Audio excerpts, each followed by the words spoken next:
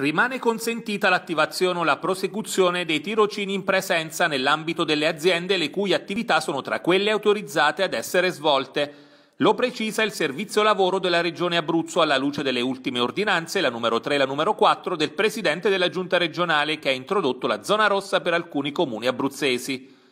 Gli ultimi provvedimenti governativi, infatti, non hanno apportato specifiche e differenti misure tali da impedire lo svolgimento dei tirocini extracurriculari in presenza, che in Abruzzo si svolgono nel rispetto delle ordinanze regionali numero 101 del 9 novembre 2020 e 103 del 17 novembre 2020 e questo indifferentemente dal fatto che le aziende si trovino nei territori identificati come zona gialla, o zona arancione o zona rossa, sempre nella fascia oraria dalle 5 alle 22. La Regione si riserva, in base all'evoluzione dello scenario epidemico regionale, di rimodulare le misure in materia di tirocini extracurriculari.